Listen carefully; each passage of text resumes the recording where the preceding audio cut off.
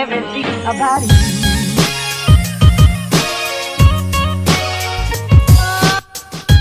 Okay guys, so good evening po sa inyong lahat and welcome to Buhay sa Dubai. And now, ito guys, we are actually preparing now for the Trending Pinoy Live. This is our second edition na po and we are live sa Karinderya ni Tandang Sora sa Karama, Dubai.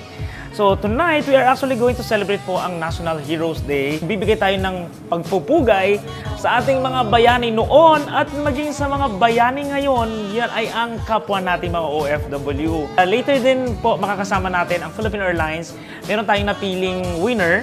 Siya yung nagbigay ng napakagandang reasons niya why he or she deserves to win TUI ticket to Philippines.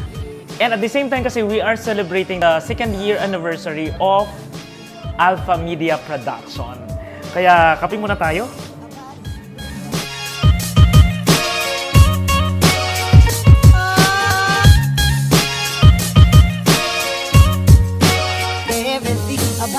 Okay guys, so nandito po ang aking kapatid. Ah, ano biglang namatay kagad? Guys, kasama natin ngayon si Nadia. Ngayon, huhulihin natin. O, tingnan mo, yan si ganyan. Demure po. Ah, ano yung feeling ng ano ng isang may sakit?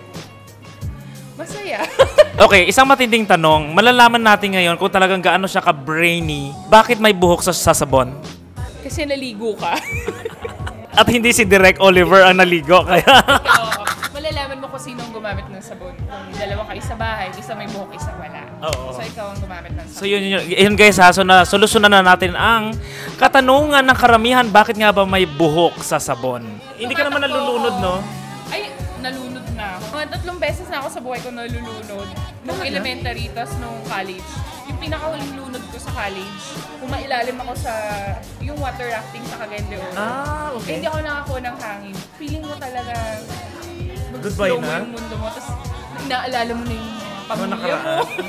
yung parang paano kayong pamilya ko pag iniwan ko gano'n. Pero totoo nga yung experience. Ako naman dito naman sa Dubai. Yung sa... Ano, hindi nalunod. Ano naman, nag, doon naman sa disyerto. Lumipat ako sa ere.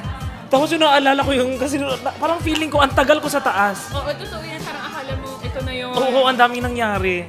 Tapos yung pagbagsak ko, hinayaan ko na lang bumagsak yung katawan ko. Ayun, tum- tumayo naman ako maayos naman. Okay naman, di ba? Tapos tingin lang ako kung may tao wala. Sabi, okay. Pero pag may tao, ah, dapat gaganon ako. Eh, ito may tanong ako. Saan, Sigurado ka. saan tinatago ng mga isda ang kanilang pera? Isda? Kaliskis? Hindi ko alam, sirit na. Sa riverbanks. Ah! mga joke ng mga bata yan. Bakit wala akong ganong klaseng jokes? Ganun na ba talaga ako boring? Kawawa naman ako. Ay, iba ka ha. Pag-usapan natin, kasi total wala naman dito si Steve Patrick Moore. Oh. Okay, simulan muna natin sa mga gagandang balita kay Steve. Ano yung gusto mo kay Steve as a host? Ah, modulated yung boses niya. Tapos English. Mahirap sundan. Yung buhok niya, laging Oo. diretso lang. Pang dinosaur, di ba? Ay naman, sabihin natin yung mga hindi magaganda sa kanya. Pwede ka na ba? Yung wholesome lang na hindi magaganda. Ah, si- ah, akit baba yung timbang niya. naka-yo-yo diet ang lolo Kaya mo. hayaan mo, ganun din ako eh. Ako naman, parang mukha siyang malakas, pero actually lampasa. Di ba nag-jogging-jogging siya, nag-workout, ayun, napilay ang paa, hindi tayo natuloy sa wadi. Ah, Wadi, pangalawang linggo na. Oh, so wag kayo malinlang na parang ang laki ng katawan niya, pero actually lampasa. si Steve, masipag sa bahay yon. Pero ayaw niya yung nakikita ng mga friends niya na ginagawa niya yung paghuhugas ng plato, ganyan. Pa- Bakit? Kasi manly daw. Oo, pinapauwi niya muna bago niya gagawin. Pag wala ka sa kumakain, sa kanila ko tumatawa. Eh, buhay mo naman yung pag-usapan natin. o sige, bumato Ano? ka. Okay, anong pinaka-paborito mong tourist spot sa probinsya mo? Oo. Alam mo yung Skylab? Meron ba nun? Oo, Kasi Mindanao Skylab, oo, yung tricycle na Oo, mahaba. tapos yung may parang pakpak. Just suggest na they have to go to ano parang Liganes Church. Kasi very ano siya, para sang baklaran sa Manila. Andun ako 2016 at saka 15. Ano, ang sarap ng dami. Oo, yeah, yeah, Teds. Ako. Teds. Gusto. Ang gusto ko lang sa Iloilo yung Ayun nga, yung probinsya talaga ng lifestyle. Lalo na kami, hindi kami sa city. Sa Liganes kami, tapos medyo baryo pa. After ng Haro, di ba, from city, Haro, tapos Liganes, Saraga, ganon. Alam niyo, may trivia ako na si Piolo, eh, kababayan mo.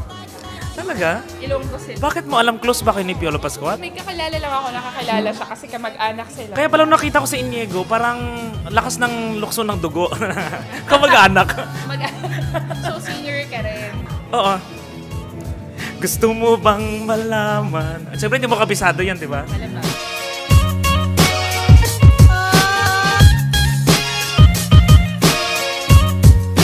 Everything about you.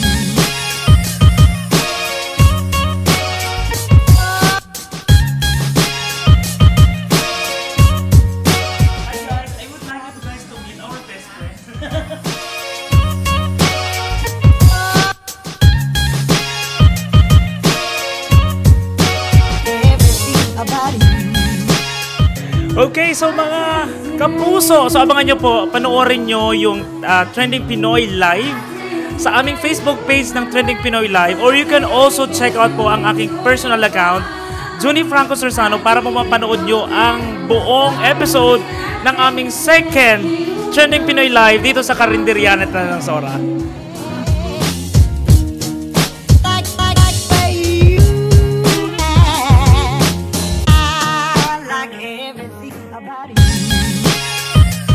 Alright, so yan mga kabuhay sa Dubai. Thank you so much for watching. Ito yung mga behind the scene. Ito yung mga nangyayari.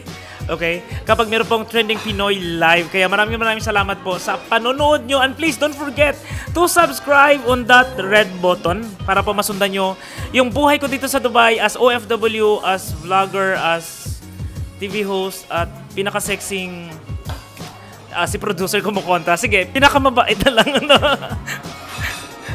Ayan, at saka si Boss Echo po, yan, sobrang, yan, mga may-ari ng Alpha Media. Thank you so much. Kaya yon kita po tayo para sa next na po na video naman natin ulit sa lahat ng mga pinagagawa ko dito sa Dubai.